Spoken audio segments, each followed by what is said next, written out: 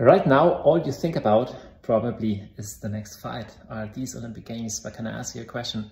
What is your plan for after the Games? We know it in our everyday life. We expect something, we are, we're, we're, we are afraid of a certain date and a lot of adrenaline in the blood. But right after the important thing, uh, we drop.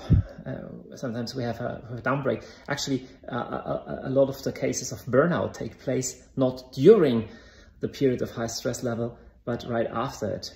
And the Bible does a very interesting story in the Old Testament. There is a, a prophet of God called Elijah, and he has the victory of his life. He challenges the priests of the pagan god Baal, and God is on his side, and fire falls from the sky. So basically, this is his day of triumph. But we read in the first uh, book of Kings that the very same day after this, Elijah goes to the desert and wants to die and he engages in negative self-talk like i'm no no no better than my fathers and i want to die and he feels absolutely ab abandoned and alone. So i want to challenge you to think already now uh, what to do on the first day the first week the first month after the battle.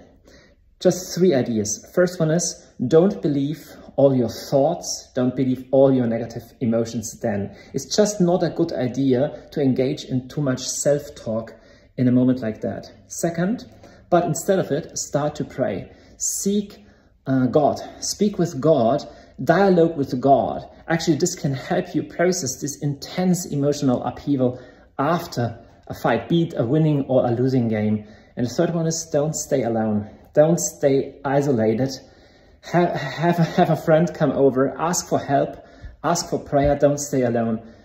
These dark times of discouragement are known to everybody who has ever run a race, done something great. You will endure it, you will get past it, but never underestimate the power of the negative forces of discouragement, especially after a great battle. I wish you God's blessing, God's peace before, during, and after your game.